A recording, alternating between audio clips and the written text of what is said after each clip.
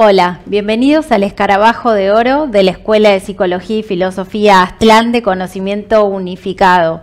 Hoy vamos a hablar sobre un tema junto con el profesor León Azulay, que nos acompaña, que es el director de nuestra escuela y el fundador de la Escuela Aztlán, filósofo, sobre la psicología evolutiva del cuarto camino, psicología que ha venido a Occidente a principios del siglo XX de la mano de George Ivanovich Gurdjieff, de la mano de Pedro Ouspensky y de Maurice Nicol.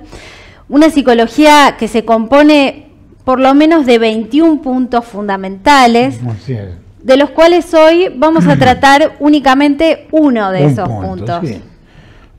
Porque vamos a ir desarrollando todo el tema del cuarto camino, que es extenso, pero hoy vamos a tratar un punto para los que están interesados en este sistema de autoconocimiento, que es la forma de ser y el saber, ¿no es cierto? Exacto. Bueno, eh, empecemos a desarrollar el tema. ¿Mm? Bueno, acerca de las distintas formas de saber, es una idea eh, que es aceptable desde el punto de vista del condicionamiento actual, de la cultura actual, porque todos aceptamos de que, por ejemplo, desde que somos pequeños, abordando un tema, el conocimiento, la matemática, aceptamos de que hay distintas calidades de la matemática, de ese saber. Una cosa es estudiarlo en el colegio primario, otra en el secundario o en la universidad o el posgrado. Entonces, aceptamos que hay calidades de saber o niveles de mm, saber. así es. Pero, ¿cómo es la idea de que hay niveles en cuanto al ser? Bueno, en el sistema de la psicología del cuarto camino,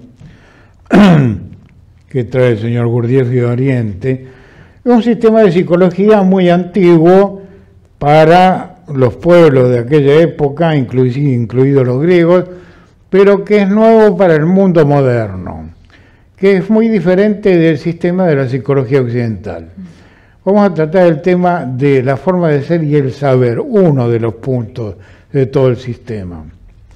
Es decir, en este sistema no hay dos tipos psicológicos, sino hay 49 diferentes grados de evolución, de comprensión o de aseveración psicológica en los seres humanos. Mm. Entonces vamos a tratar el tema, acá tenemos un gráfico de tres tipos psicológicos, los más usuales en el conocimiento nuestro occidental, que el señor Gurdjieff lo divide en tipo número uno, tipo número dos y tipo número tres. Cada uno de ellos tiene un grado de evolución determinado, una forma de vivir, de ser, de interpretar y una forma de saber. Mm. ¿No es cierto? Mm. Bueno, esta es una idea por lo menos novedosa desde el punto de vista de la psicología de Occidente, porque habitualmente la concepción que hay, sobre todo en los sistemas de psicología social o de corte materialista, es que hay dos tipos psicológicos quizás, y lo dividen entre el, el cuerdo y el loco, entre el alfabeto o el analfabeto, o según su clase social. Y acá estamos hablando de que hay distintas formas o niveles del ser. ¿no? Así es. Bueno, entonces, eh, viendo, encarándolo desde este punto de vista de este sistema, vamos a tratar la parte de los tipos 1, 2 y 3. ¿Qué forma de ser tiene cada uno y cuál es su forma de saber? ¿Qué es el proceso a realizar? Es decir, si no coincide, la idea es la siguiente. Si no coincide la forma de ser con el saber, como pasa hoy en Occidente del siglo XX, por ejemplo, la ciencia han avanzado muchísimo, pero el uso de las ciencias no está de acuerdo con la forma de ser este, humanista que tiene que tener las ciencias. Eh, hay un desfasaje, hay mucho saber científico y técnico en el mundo moderno y mm, una forma de ser muy inferior. Ese sería el planteamiento básico del tema, el punto de ser y saber. Ahora, ¿cómo se hace el trabajo? La observación de sí es eh, un trabajo de autoconocimiento. ustedes saben que hay muchos sistemas de autoconocimiento, ya hace unos cuantos años en Occidente. Eh, nosotros estamos hablando de uno de los sistemas, que es el cuarto camino, que está relacionado también con la psicología profunda de Jung y con la psicología del budismo actual, actual, no con la religión. Entonces, este, este proceso a realizar es observarse uno mismo y anotar esta observación, que es la parte práctica, técnico-práctica de uno mismo. ¿Qué forma de ser yo observo en mí y qué cantidad de saber tengo para manejarme en la vida actual. ¿No es cierto? Mm. En relación a estas formas ¿no? de, ser, diríamos entonces que autoconocimiento sería mm. ubicarme en la escala de mi nivel de conciencia para saber desde dónde parto y hacia dónde tengo que ir. Claro, es decir, hay que saber primero en este autoobservación lo que dije recién o sea, qué cantidad de saber tengo, si es preciso o no, y cómo lo uso, la forma de usarlo. Bueno, si uno ve que hay un desfasaje entre los dos temas que crea los conflictos psicológicos, porque si hay mucho saber intelectual que es el racionalismo y una forma de ser muy contradictoria, hay conflictos psicológicos. Esto lo vemos en el mundo actual, en todo el mundo, no solo acá, sino es mundial este tema, ¿no?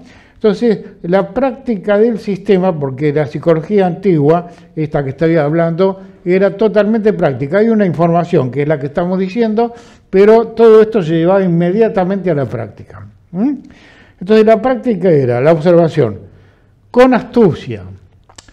Con astucia, pero no en el sentido negativo occidental del racionalismo, de hacer el mal, sino con la astucia de procurarme este, una capacidad positiva para mí o para los demás, que la habilidad inteligente de actuar con éxito según las leyes de evolución para la línea humana. Porque hay leyes de evolución para los minerales, los vegetales, los animales y para la línea humana, diferentes. Ahora vamos a tratar del ser humano y su evolución lo que los antiguos hindúes llaman el Dharma o las leyes de evolución de la conciencia. Entonces, primero, desarrollar la astucia, que es la capacidad inteligente de elegir correctamente bien lo que me va a beneficiar para obtener mayor inteligencia. sí, en relación... a eso, ¿qué, opinás? Sí, no, eh, te quería preguntar, ¿no? Si esto también lo podemos relacionar con la idea de que hay distintas inteligencias en nosotros, o funciones, o centros. También. Pero primeramente, si me permitiste, voy a dar los, los aspectos técnicos del trabajo. Dijimos la astucia, dijimos la sagacidad, que es la inteligencia precavida. Precavida quiere decir anticiparme al hecho, ¿no? O sea, la razón suficiente de que hablaba Kant. Tener una inteligencia mucho más amplia, no dogmática, no cerrada. Entonces, esa inteligencia este, bastante ampliamente desarrollada va a tener la precaución de ir ordenadamente desarrollando una inteligencia. Luego está la estrategia, esto es parte de la práctica, porque todo está bien práctica. ¿Qué estrategia, qué táctica uso? en este, en este desarrollo. Es la, la estrategia es la actividad de dirigir operaciones con éxito, esto es autoconocimiento. La operación que estamos hablando acá es el conocimiento de mí mismo. La habilidad para dirigir procesos psicológicos. Eh, vamos a poner otro gráfico acá. Eh, la psique del ser humano, del humano, tiene cuatro funciones. La función intelectual, que es la capacidad de pensar o razonar. La función afectiva, emociones y sentimientos. La función instintivo-motriz, que es la parte física del ser humano. Y la función sexual, que por supuesto tiene mm, la función de la reproducción, obviamente, que es la que más conocemos, pero también tiene una función psicológica, que es el desarrollo de una energía especial de la libido que en Occidente no se tiene en cuenta, no es conocido este proceso como una libido para el desarrollo de todas las energías.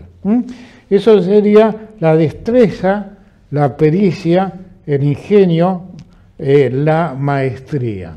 ¿Mm? Te puedo preguntar algo porque eh, quizás alguien que está viendo piensa, bueno, pero destreza o astucia o sagacidad yo ya lo utilizo en mi trabajo o lo utilicé para lograr cierta posición social y demás. Sí, sí, es verdad. Pero vos estás eh, em, eh, dirigiéndote a la vida común, la vida de vigilia común, colectiva, la conciencia adquirida. Hemos nacido en el siglo XX y vivimos el condicionamiento de la conciencia colectiva de esta época histórica. Sí, ahí usamos la astucia, la, sagacidad, la estrategia táctica y técnica de orden materialista, ateo, utilitario, individualista.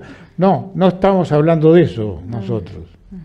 Estamos hablando de las mismas técnicas psicológicas, pero con otro sentido, con un sentido positivo. Bueno, la táctica es el arte de disponer acciones inteligentes. Por supuesto, creemos que la inteligencia es propia del ser humano, Homo sapiens, pero estamos hablando de una inteligencia no vigílica, una inteligencia superior al estado de vigilia, es decir, estados superiores de conciencia. De eso trata el cuarto camino, de eso trata la psicología profunda de Jung o la psicología de los distintos sistemas budistas. Esos son los medios para emplear y conseguir con éxito una conciencia más amplia, no dogmática, eh, un libre pensamiento no anarquista, mm. sino ordenado, ¿no es cierto? Está implícita la idea, bueno, desde que empezamos el video dijimos que es una psicología evolutiva, ¿no? Está implícita entonces la idea de evolución en todo esto que estás explicando. Sí.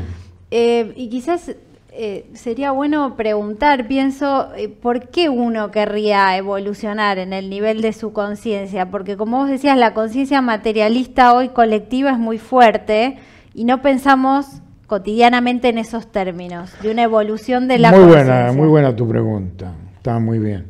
Bueno, porque en Occidente este, predomina el racionalismo materialista, ateo, en general, con las excepciones del caso, no se considera que tiene que haber una evolución psíquica.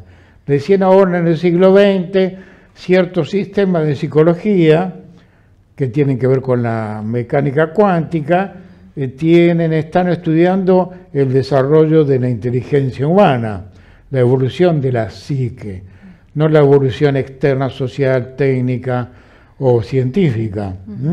O sea, es una nueva idea, más bien del siglo XXI. Y que las generaciones del siglo XXI, del 2000, empezó el siglo XXI, estamos en 2019, quiere decir que estos chicos tienen 19 años, los que nacieron en el año 2000, tienen otro tipo de mentalidad y quizá comprendan mejor que otra gente que es más antigua como yo, por ejemplo, ¿no? ¿Eh? O sea, acá ya lo hemos visto, que parece que es así. Hay cambios. En la práctica hay cambios de interpretación y de no, no tanta oposición a estos eh, sistemas que son antiguos y nuevos, las dos cosas simultáneamente, ¿no? Mm, exacto. Bueno, y en relación con eso, ¿no? Con la posibilidad de evolución, em, ¿qué, ¿qué, implica la idea, no? Porque si para desarrollarme en el mundo externo necesito seguir ciertos pasos, sea en mi profesión o en un deporte, en cualquier actividad, necesito seguir un método o una carrera para seguir eh, un proceso de evolución interior o psicológica, que estamos hablando de la conciencia, también podríamos hablar de que hay métodos o hay pasos, hay procesos que seguir. Así es. Bueno, el primer proceso es la observación de uno mismo, la autoobservación, pero no es la observación eh, común que hacemos todos los días, sino es un tipo de observación especial eh, que lo vamos a tratar en, otra, en otro video. ¿no? Ahora queremos hablar del ser y del saber, el desfasaje que crea, el conflicto que hay. Como sabemos que en nuestro siglo XX, siglo XIX, siglo XX, siglo XXI, en estos últimos tres siglos o dos siglos y medio, ha habido mucho desarrollo científico, técnico, industrial, económico cosa que en la historia occidental en los siglos anteriores no hubo. cada siglo había pequeños cambios. Repentinamente, por el proceso histórico, porque la evolución de la humanidad es un proceso histórico, hubo una aceleración del conocimiento colectivo y a partir del siglo XIX y luego el siglo XX, con las guerras mundiales y toda la tecnología necesaria que se desarrolló, este, caímos ahora en el siglo XXI con estos conflictos entre la forma de ser y ese enorme saber que no se lo sabemos usar correctamente. O sea, podría ese es el tema que hoy queremos ver, ¿no es cierto? Podría decirse que se ha liberado para la humanidad una gran cantidad de conocimiento. Eso mismo. Lo tenemos en nuestras manos hoy en día que podemos conectarnos con distintas partes del mundo, por poner un ejemplo durante siglos la humanidad eh, vivió épocas de oscurantismo, ¿no? Donde ni siquiera había libros, estaban prohibidos. Claro. Entonces, esa liberación de, gran cantidad de conocimiento, de información también, eh, produce, eh, por un lado, es una evolución y por otro lado produce más confusión también. ¿En parte estás queriendo decir esto? Eso mismo quiero decir. En general hoy el ser humano ciudadano del mundo, este, digamos ciudadano de a pie, ¿no es cierto? Tiene un conocimiento general que da la televisión, el cine, internet, superficial, tipo periodístico, que no es un verdadero saber, sino es una opinólogo, ¿no es cierto? ¿Mm? Sin este discriminar, yo no digo en forma negativa, sino una descripción objetiva. Todos opinamos, porque es la costumbre de nuestra época, opinar sobre el saber eh, colectivo que hoy este, mundialmente eh, está diseminado mundialmente. Pero no es un verdadero saber, en este caso, de la psicología, de la psique humana, con precisión qué es la evolución psicológica, que no existe en la psicología occidental esta idea.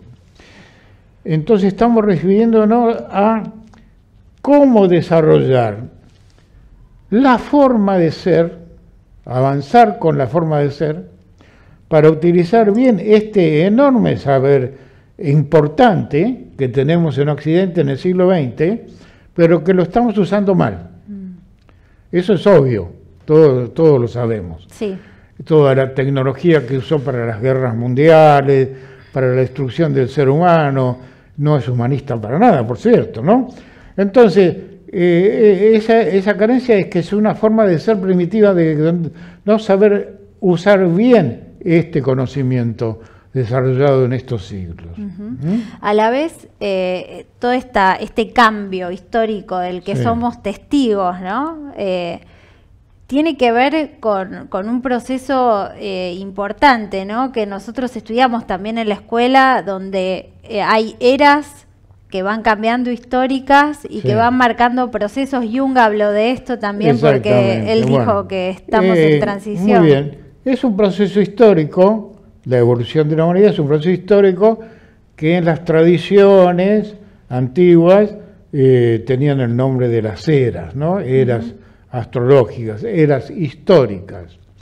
Bueno, hoy se habla muchísimo de, en el siglo XX de la nueva era, ¿no? O la nueva época histórica. Hemos visto que hay grandes cambios, por ahora un poco caóticos, en el mundo del siglo XX y siglo XXI, que es una señal de un gran cambio eh, social, económico, político y psicológico, fundamentalmente de toda la humanidad. De eso trata esta psicología, pero no vamos a extendernos mucho en los temas. En la antigüedad, la psicología, hablemos de Occidente, ¿no? Vamos a hablar de Occidente. En Grecia era la filosofía. la psicología en Grecia era parte de la filosofía, porque el conocimiento era unificado, no estaba dividido como está hoy en el mundo moderno. Es decir, los cuatro caminos del conocimiento que hoy lo dividimos en eh, filosofía, ciencia, arte y religión, en el pueblo antiguo griego y luego romano, eh, precristiano, era un solo conocimiento, era una forma de educación especial que tenían esos pueblos que a veces estudiamos un poco de eso en el colegio secundario, pero muy, superficialmente y, no, muy profundamente.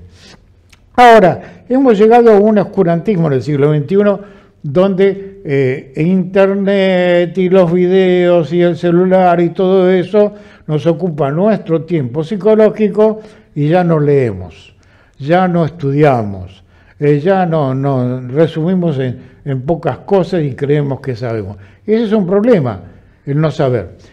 En la, psicología eh, oriental se dice, hay un dicho interesante que se dice, de la ignorancia depende karma. Karma es la ley de acción y reacción. ¿Cómo se soluciona la ignorancia? Con el saber, con un verdadero saber de lo que es la filosofía, el arte, las ciencias, la religión y la unificación de estos cuatro caminos, que en realidad eran uno y son uno, pero hoy, eh, como es en nuestra cultura eh, occidental está fragmentada, creemos que es así, que es fragmentada y no lo es. Y esos son los conflictos. Vamos a ver un poquito, un poco técnicamente esto, aunque hoy la gente no le gusta mucho que hablemos eh, técnicamente en Internet, pero en los griegos tenían métodos psicológicos para su tipo de educación, ¿no? Ellos llamaban hermenéutica el arte de interpretar el conocimiento que se vivía. Por ejemplo, recuerden Sócrates, que era discípulo de, de Delfos y Leucis, salía al Ágora, el Ágora era la plaza pública en Atenas, donde salía a enseñar a todos los jóvenes de la época, sin ningún libro, era, él era el libro. bueno, eso es la hermenéutica, interpretar eh, las preguntas que él hacía, que era la mayéutica y la dialéctica, porque en la misma pregunta estaba la respuesta. Esta la era una inteligencia mayor, la socrática, donde en esa misma pregunta estaba la respuesta. ¿no? Eh, también estaba el cómo usar esta hermenéutica, que era eh, explicar, declarar, aclarar, definir, este, hacerse obvio para el que preguntaba todo lo que Sócrates decía. En la escuela socrática el que tomaba nota de esto era Platón. Conocemos la enseñanza de Sócrates por los libros de Platón, los diálogos, ¿no es cierto? Bueno, pero esto es algo histórico, no quiero, eh, eh, quería agregarlo para que aclarara un poco, ¿no? También se estudiaba el ser de las cosas, la forma de ser, la ontología. Cada cosa, cada objeto que hay en la existencia física humana tiene una idea anterior, o sea, una esencia. ¿eh? Todos estos objetos físicos que hay salieron de una idea o una esencia. Este, es la teoría del conocimiento. La teoría del conocimiento es estos cuatro eh, caminos que hablamos. ¿eh? También hay que saber un poco de cada uno para que haya una forma de ser correcta, una doctrina y método del conocimiento bien ordenado, que es la lógica, que es razonar con exactitud, que es sinónimo de dialéctica. Bueno, todo esto no es desde el punto de vista racionalista que lo estamos explicando, sino desde el punto de vista de este sistema psicológico. Aunque usamos las mismas palabras, las propuestas son diferentes. Bueno, empezamos el video hablando de psicología y terminamos hablando de filosofía. Y quizás eh, es importante aclarar que no es una derivación, sino que la psicología y la filosofía han estado íntimamente relacionadas. Claro, pero aclaremos un poco, esta eh, parece muy rimbombante, esta palabra filosofía, ¿no? Sí. Eh, filosofía en traducción de la palabra griega es amor al conocimiento. La psicología es un conocimiento, las ciencias son conocimiento, el arte, la religión son conocimientos. Es amor al conocimiento, que es opuesto a la ignorancia. Así que no es tan tecnológico, tan racionalista, tan preciso esto de ser filósofo, ¿qué es la filosofía? Vamos a poner a disposición de el, vidente, el televidente, que es el conocimiento, el conocimiento que adquirimos en la vida. Porque la existencia en el mundo físico, desde el punto de vista de, de nuestra escuela, de nuestro conocimiento, la existencia es una escuela.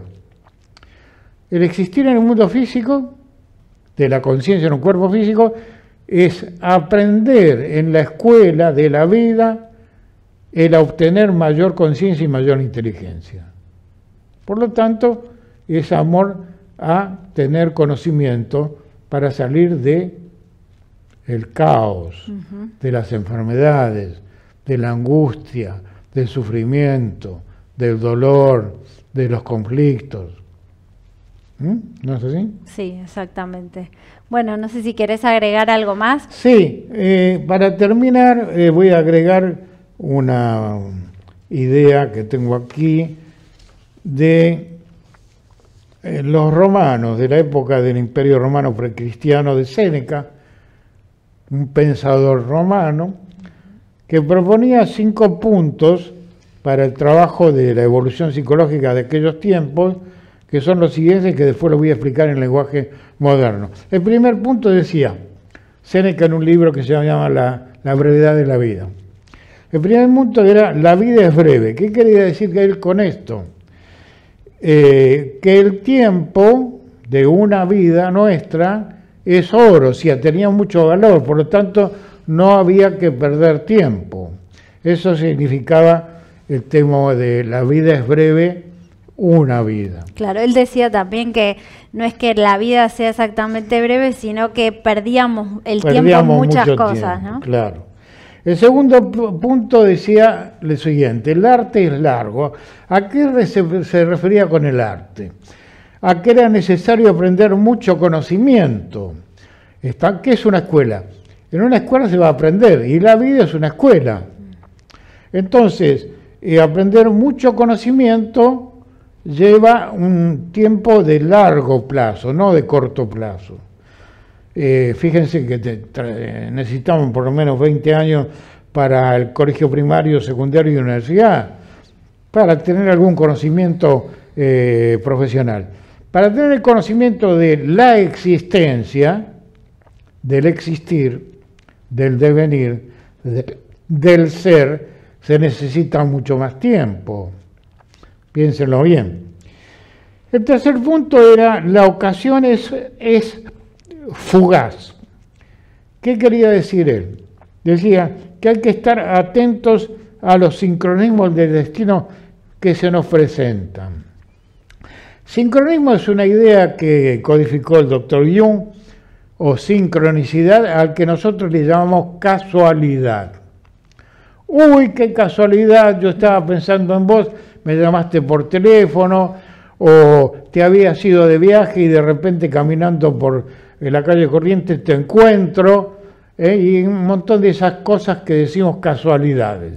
Bueno, ese estudio, con mucha precisión lo hizo el doctor Jung, le, le llamó sincronicidad.